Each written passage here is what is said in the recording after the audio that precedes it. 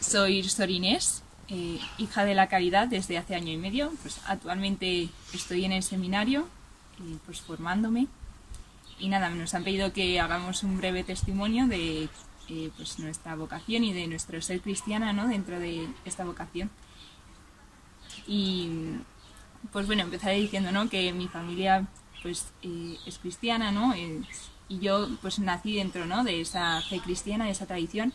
Siempre diré que he crecido en parroquia, ¿no? Y así lo siento. Eh, realmente, pues mi conciencia ya, ¿no? De compromiso cristiano nació con eh, la confirmación. Eh, ahí, pues, me di cuenta de que quería colocar realmente a Dios, ¿no? En mitad de mi vida. Aunque en ese momento, pues, eso significaba, pues, ser estudiosa con mi carrera, ¿no? Iba a empezar a estudiar arquitectura, pues, ahí tenía que entregarme. También pues el ser catequista en la parroquia, el ser voluntaria en el comedor de las hijas de la caridad, que justo empecé ahí. Y pues poco a poco, ¿no? Así fue, pasaron, fueron pasando los años, ¿no?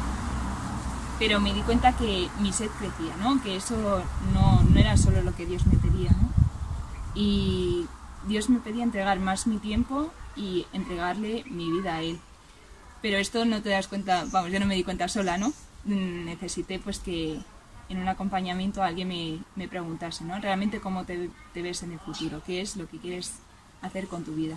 Y todo aquello que había soñado, por así decirlo, hace tres años, eh, pues se fue disipando, ¿no? Para llegar a algo pues, pues mucho más grande que yo misma, ¿no? Y que nunca te lo puedes imaginar. Y pues así fue como poco a poco me di cuenta de que sí, que Dios me estaba llamando, que quería consagrar mi vida como cristiana, ¿no? como hija de la iglesia en la que había crecido y sobre todo que quería entregar mi vida pues, a los demás, en concreto a esos pobres que había ido descubriendo ¿no? a través del comedor social. Y a partir de ahí pues eh, fue ir hacia adelante, ¿no? Y con la gracia de Dios la verdad, porque en este tiempo Dios te bendice mucho, pues vas un poco soltando amarras ¿no? de tu vida para irte llenando de Él y vaciándote para, pues eso, coger una simple mochila y salir tras de Él. Y así sigo viviendo hoy mi día a día, ¿no? Eh, sabiendo que ya cada acción pues cuenta para Dios, ¿no? Cada pequeña cosa que haga, cada pequeña oración, Él pues lo ve, lo tiene en cuenta, lo ama y también me da, esa gracia, ¿no? ese regalo de poder ayudar al resto a, ir hacia Él. Y con eso, pues bueno, os deseo a todas y todos un feliz día de Santa Luisa.